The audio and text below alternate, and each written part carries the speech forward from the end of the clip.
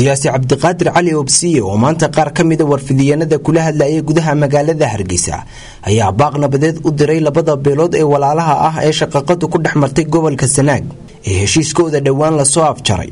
Inaan hambaliyo iyo salaan iyo bogaadin uga diro guddidii runtii iyo wafdigii ballaadhnaa ee ka qayb qaatay xalinta khilaafaadkii labada beelood ee walaalaha ah ee ku diriray ceelaf weyn haddii yihiin xukuumad hadday tahay culimo iyo hadday tahay siyaasiyiin iyo hadday tahay sulaadiin iyo madax dhaqameed iyo hadday tahay haween iyo dhallinyaraba waxaan leeyahay baaraka allaahu fiikum wabaaraka allaahu fiikum baan leeyahay wajasaakum allahu khayra jasaa in labada beelood ee walaalaha halkaas khilaafkooda lagu xaliyey lagu heshiisiiyeyna waxaan leeyahay wax badan bay soo noqnoqday arrinkaasi waxaa fiican inaad ka kortaan oo dad oo soomaalida maanta walaalihiin ah ee idiin soo gurmaday aad arkayseen inta ay leegyihiin cadadkoodu. Ee aan cidina u maqnayn inaydan khasaarayn oo aydan ka dhigin hal bacaad lagu dhisay waxaan leeyahay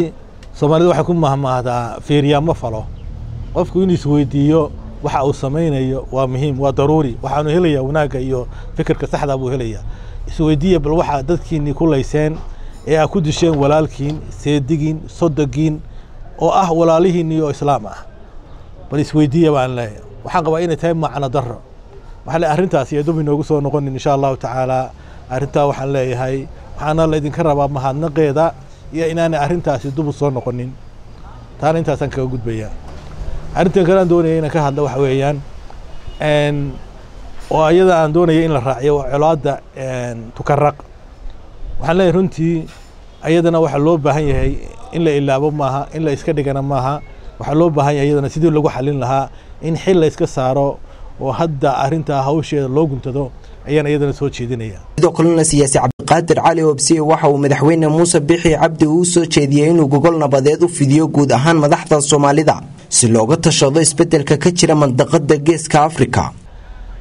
Waxaan kale aan doonaya halkan iyadana inaan ka hadlo arrintii farmaajo iyo jabuuti ee maalintii dhoweyd runtii uu tegey eritoria runtii de waxaynu nahay dad gogol ku wada fadhiya oo dhaqan iyo diin iyo diirba ay ka dhexeeyaan. Kolley waxaan u soo jeedinayaa madaxweyne farmaajo inuu arrintaas oo cudurdaar ka siiyo walaalaheena jabuuti runtii inuu cudurdaar ka siiyo. Jabuutina waxaa leeyahay doonaya inay degdegin. Ay soomaalida waxay ku mahmaadaan nin habari dhashay halma seegi waayo. Waxaan qabaa farmaajo inaanu yani bareerka ahayn iyo xumaantii inuu xumaynayo jabuuti waa ay ka tahawn inay halkaa la martay un siyaasaddu bini aadamkuna kullu bini aadam khadaaun wa yuxib allahu khadaauna tawaabiin marka waxaan leeyahay arrintaas in farmaajona uu cudurdaarka ka bixiyo jabuutina ay dusheeda ka yeelatay iyo soo dhoweynteeda iyo maaragtay dulqaadkeeda inay yeelato ayaan soo jeedinaya. Ta soo jeedinaya waxa weeye.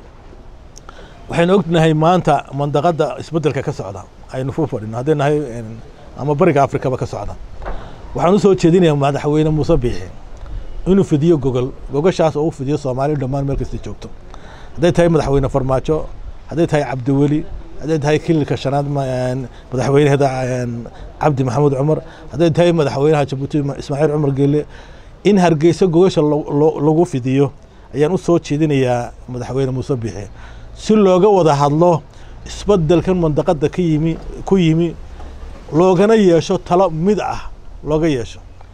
Laysna weydiiye bal horta sidii aynu u wada noolaan lahayn. Bal horta ictiraafka haynoo dambeeye waynu arkaynaa maanta xaaladda adduunku halku marayo isbeddelka waddankeena iyo mandaqadeena ku yimi waynu arkaynaa. Waxaynu u baahan nahay maanta inaynu wixii hore iska ilaabno waa aynu maanta miiska soo saarno xaaladdan maanta taagan aynu ka wada hadalno.